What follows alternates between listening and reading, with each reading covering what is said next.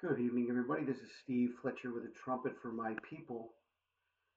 Today is December 27th, 2020, and I want to share with you uh, about a comet that was discovered on December 13th. Now, this was an amazing, uh, I'm going to share with you guys a couple uh,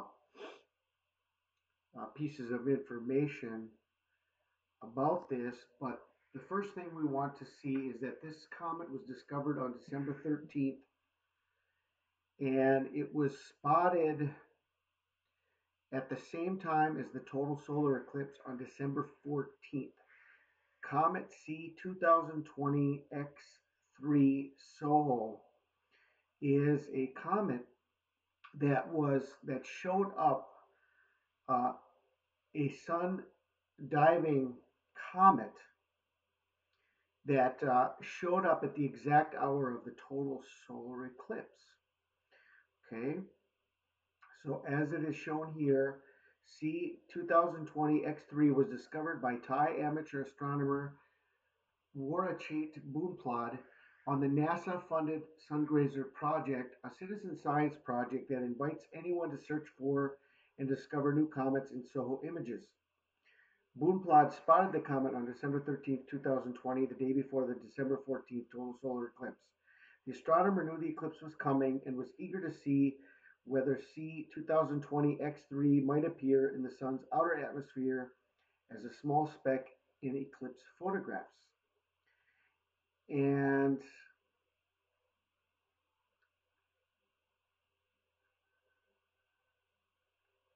so it okay, so I want to share this clip with you now.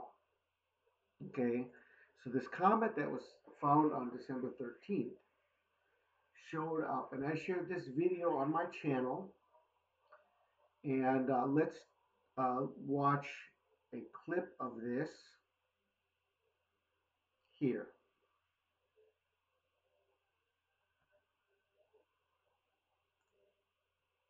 Turn Okay. Here's the sun diving comet that went right into the CME. And this again was during pretty much totality of the eclipse. The comet's right down here. Watch, it's a sun diving comet. We've seen them before, but they're actually kind of rare. See right there, you don't see them very often. And for that to occur during a total eclipse is actually kind of rare.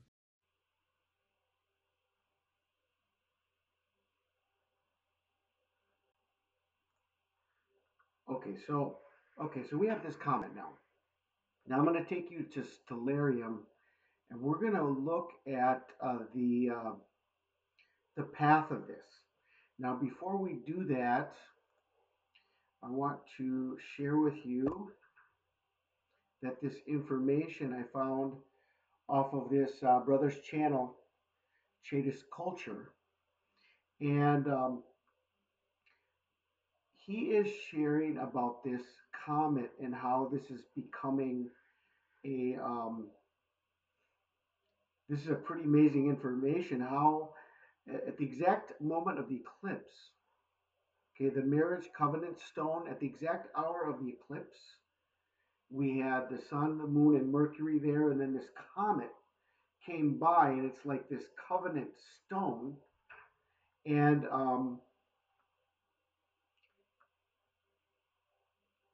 And so I wanted to share with you guys from Stellarium. Okay, so I want to thank uh, Chadash, Chadash Culture for his uh, information about this. Okay, now let us go here. Okay, I want to go to Stellarium and I want to show you this comment. I was actually able to add this into my Stellarium program um, you have to add uh, comets uh, into the, the uh, not all the comets show up. So you can do that in the configurations. Um, and um, anyway, okay, so here, here what we have is, this is December 14th. If we look down here on the bottom right, we'll see that this is December 14th. Okay, this comet was discovered one day previous. Now we're going to see here how all of this is going to come together, and this and this comet's going to go right through the total solar eclipse. Okay, here we have the sun, the moon, and Mercury. Okay, and we're going to watch this, and I'm going to I'm going to play it forward uh, at medium speed, and and we're gonna we're gonna watch this go through the total solar eclipse. Okay. So let's move this forward now.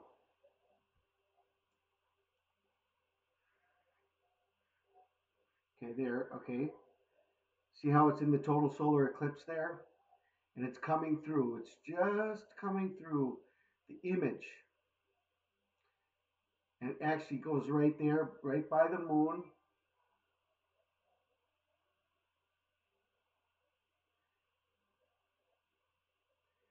Yeah, this was the perihelion event as it's coming around.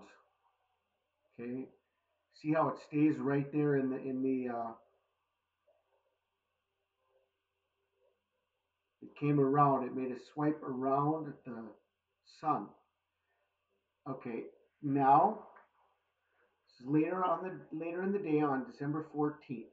Now we're going to watch this I may speed this up a little bit.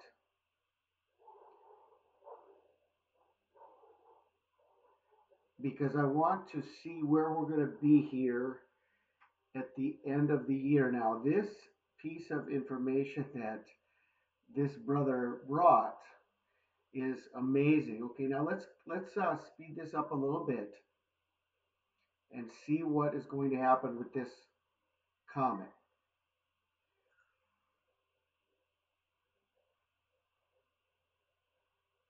Okay, we see it coming into Scorpion. We see it coming into the constellation of Scorpion.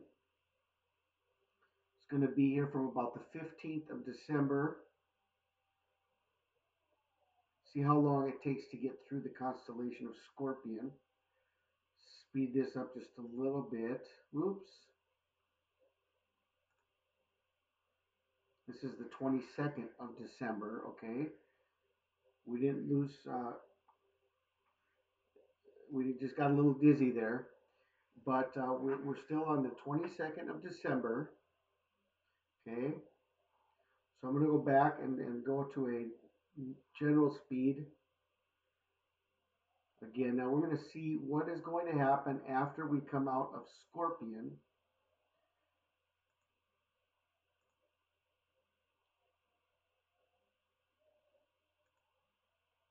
Okay. I want to speed it up a little bit more. But if I do that, then it's going to get, uh, we're not going to be able to watch it. So what this brother shared from Chadash culture, culture is that, uh, okay, as it came out of Scorpion, then it's going to come through the altar, the altar,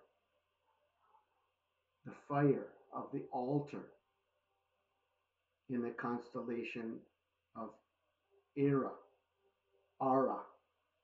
Okay?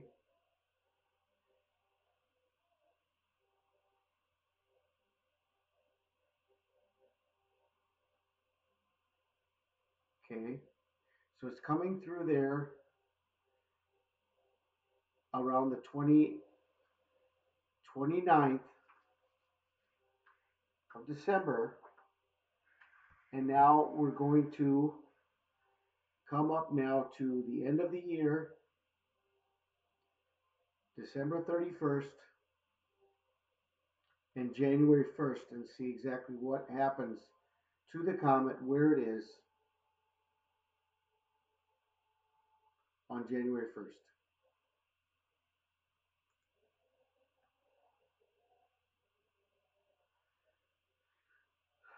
So look at exactly where this comet is on January 1st. It's the exact point of the of the uh, triangle constellation. And so, what this brother was sharing, okay, go back here. This brother was sharing is that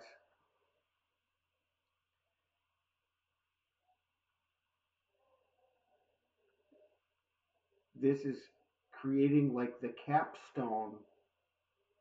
And on this on this uh, video here okay if we go into this video here see here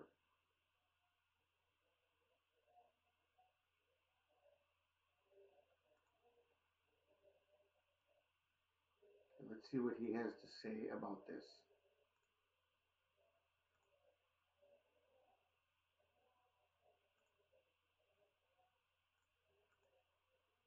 Let's see what he has to say about this. Okay, hold on, guys. Let's go from here. On the celestial gospel calendar, and you just cannot make any of this up. This calendar was given to me through 20 plus years of researching the stars and the heavens and books and manuscripts. Okay, so um, I, I really don't understand the difference um, of this calendar. Okay, I, I, can't um, speak for the calendar he's sharing. Um, I've seen, I've been watching all the signs based on the Hebrew calendar, and I think that we have a sign that began on midweek Hanukkah. The comet was found on the day before. It came through the total solar eclipse. Midweek Hanukkah was our sign, and now we have we're brought to the beginning of the year, and we have the capstone which is the all seeing eye on the top of the pyramid, basically the beginning. Okay. Now, okay, let's see here. Go back to Stellarium. Okay, January 1st, right here. Now, let's do this before we close out of here too quickly. Let's go time and date. And let's go January 1st. Let's go 31st of December 2020. We're going to add 1260 days, which is the time given to the woman to fly into the wilderness. It's also the time given to the Antichrist 42 month reign of the Antichrist. Where would this take us? Calculate new date in June 13th, 2024. We're going to go to the Hebrew calendar. And we're going to go June 13th.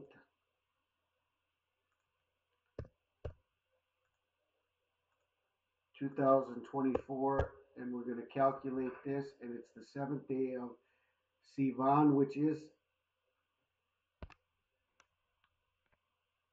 Passover.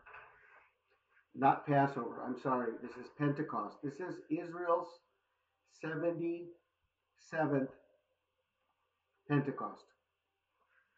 Okay? 70 weeks are determined.